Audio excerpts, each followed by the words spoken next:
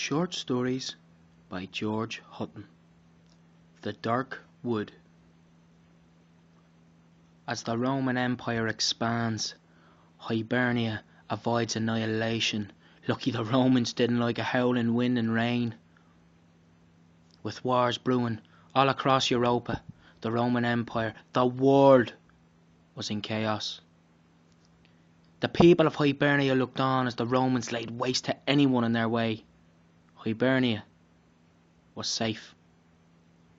Or was it? Obviously, I wasn't there myself, but many stories remain, such as the one I'm about to tell you. There were old myths and fables that the island was haunted by an unknown entity. For the families that lived there, they often lived in fear. Shadows stored in the woods that surrounded them, wolves howling, voices screaming. Father, what was that? Get inside, Michael. But father, Get inside!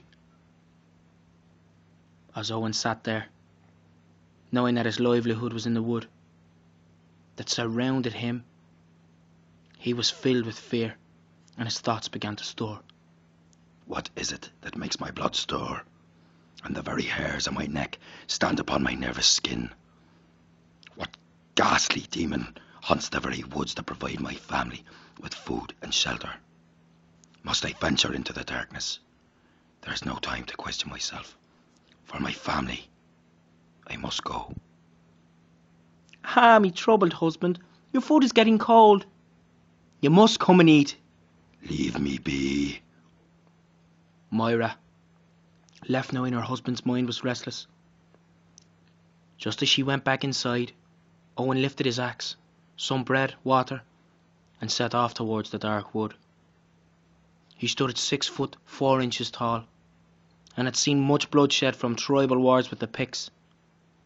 But he knew that this battle would be no ordinary fight. When he reached the wood, there was a loud scream What stars? Leave now. As my ancestors watch me, I tell you, foul spirit, I shall not leave. So be it. Red eyes appeared in the shadows. Large demon wolves set upon Owen. He flung his axe with great ferocity. The wolves never stood a chance. Demon, show yourself, or leave this place. The darkness had lifted from the wood, but Owen was bleeding heavily from his wounds. You will not die. Owen woke in his home. The darkness was gone. But why was he spared?